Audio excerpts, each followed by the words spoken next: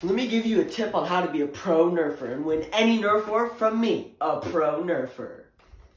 Step one, load your gun.